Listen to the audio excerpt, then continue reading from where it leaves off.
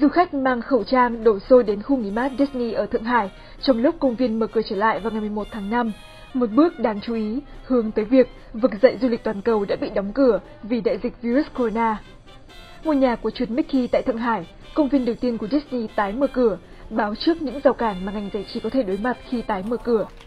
Disney hạn chế số khách đến thăm, yêu cầu mang khẩu trang và kiểm tra thân nhiệt ở cổng vào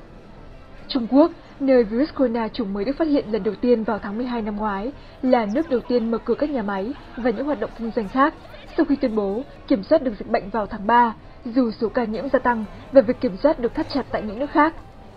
ngành du lịch đặc biệt bị ảnh hưởng nặng nề vì những kiểm soát được áp đặt trên thế giới khiến ngành hàng không và du thuyền bị đóng cửa cũng như các công viên giải trí và dạp chiếu phim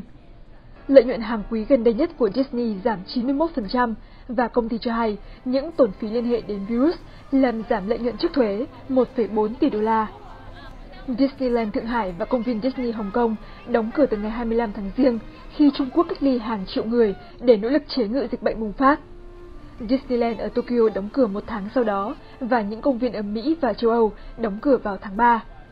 Trung Quốc cho phép các cửa hàng và văn phòng tái mở cửa, nhưng các dạp chiếu phim, quán rượu, những nơi hát karaoke và những công việc kinh doanh khác vẫn còn đóng cửa. Những tấm đề-can in trên đường đi và tại những nơi xếp hàng xem các tiết mục giải trí hướng dẫn cho khách đứng để giữ cách ly. Công ty cho hay các trò chơi sẽ hạn chế số khách mỗi lượt để giúp cách ly. Disney có trụ sở tại Burbank, California, chưa ấn định ngày tái mở cửa những nơi khác trên thế giới. Du khách đến xem Disneyland tại Thượng Hải được yêu cầu xuất trình thẻ căn cước do chính phủ cấp và dùng một ứng dụng điện thoại thông minh do thành phố Thượng Hải cấp để theo dõi sức khỏe và những sự tiếp xúc của họ với những ai có thể bị phơi nhiễm virus.